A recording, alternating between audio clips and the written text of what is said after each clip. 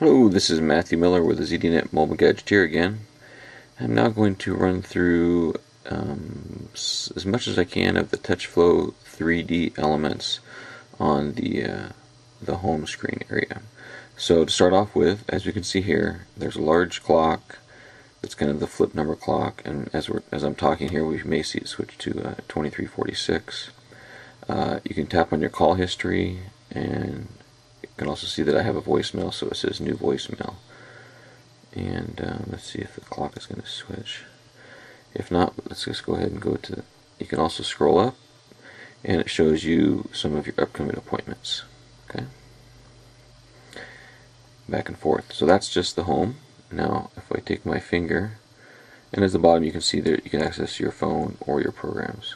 And there it switches to 46. So I can take my finger, hold on it, and then go across. And let's go to the first one, which is people.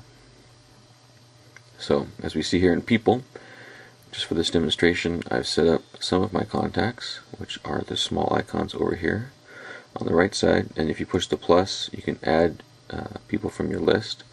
And I can take my finger and go up and down and see the different people in my contact list. And as you can see, it's very responsive. So I could, and then I could uh, tap on that person, see the details of that person, last call, that kind of thing. And if I tap right here on this little uh, arrow key, it actually dials that person. And there's some of the in-call features. Um, you can also tap uh, note, or if you remove the stylus from the stylus slot, you can quickly add a note to that conversation. Okay let's just end that call and go back home. So that's people.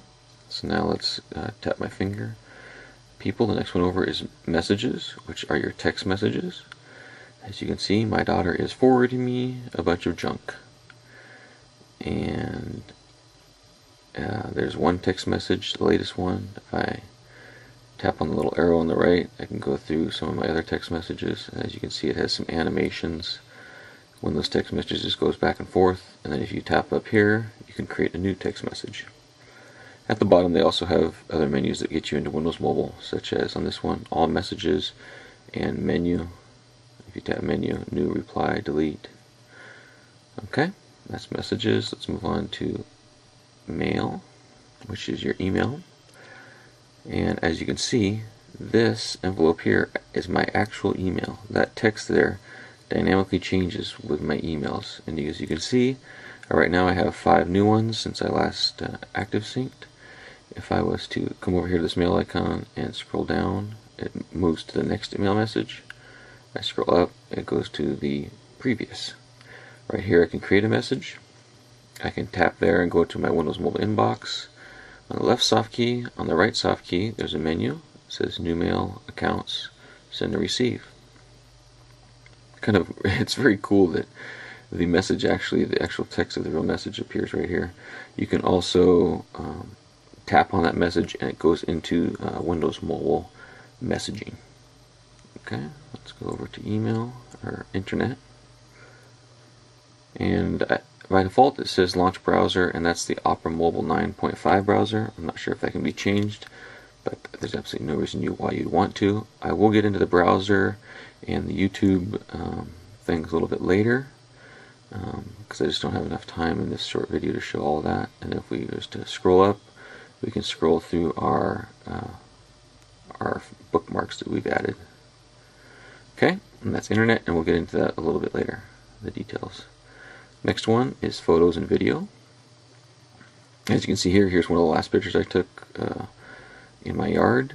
And again we can just tap on these and quickly go through the different photos and videos or you can scroll with your finger and quickly bounce between the photos that you might have taken and the videos as well. As you can see this one right here has a little movie clip around it. If you tap on this top icon you're taken to the camera application which I will show again in another video and also if you tap on here is the video application you can also tap for your albums or a slideshow of your pictures. And we'll go into more details of the photos and videos in another video. Music. Okay. Now I haven't loaded any music on here, but there was some preloaded on the 4 gig flash drive. So as you can see, here's your music, and let's see, I haven't played a whole lot with the music. Let's go back. I just switched the wrong thing. So now let's see if I go up and down. Yes, as I go up and down with my finger, I can switch between the different music, and as you'll see, the album covers are switching. You can, uh, I believe if you tap here, you can go up and down as well, and you can push play to play a song. It shows shows the status along the bottom. You see that's a 26 minute song there. There's also a library and another context sensitive menu. Repeat off, shuffle off, properties, add to playlist, and audio booster. Okay, let's go over to the next one. It's just weather. Now, let's see. In Tacoma, it's mostly cloudy, right? We can switch through a bunch of different locations that we set up. Let's see, I'm trying to find, see if any of them that I set up happen to be rainy areas. They don't right now because the rain is a cool animation. Um, so that's the today. Let me just uh, quickly go to menu, add, remove, update now, Celsius or settings. Let me just quickly add a location. And let's see. The one thing about the location is you're not able to quickly uh, like type in U for United States or something. You actually have to scroll up and down to get to location, but it's not like something that you're going to do all the time. You'll set up a couple locations and then you'll check the status. Let's just go, let's see, where in the US will it be raining? Hmm, I'm not sure exactly. Let's try Baltimore. Nope, it's cloudy there too. Oh, it's clear. I just wanted to show the rain, so we'll just uh, look at. Well, it took me a few minutes, but I finally found some locations with some interesting weather.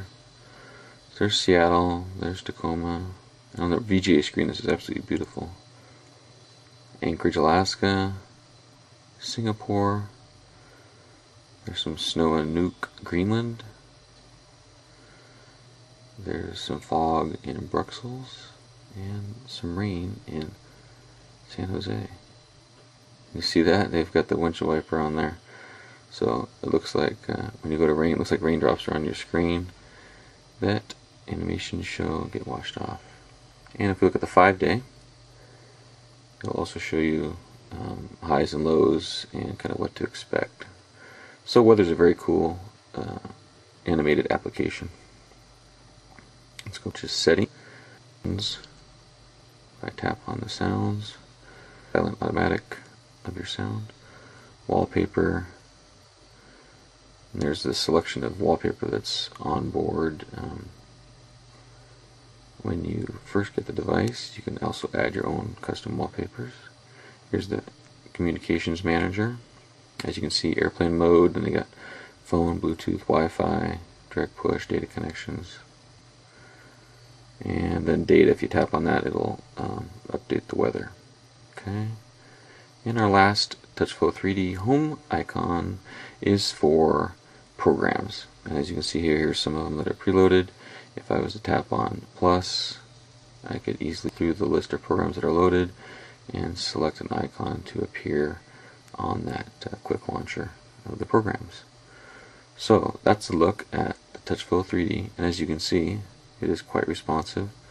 I just grab my finger, drag across to where I want to be and then lift up and it will go back to that uh, selected location. So there you go, TouchFLO 3D.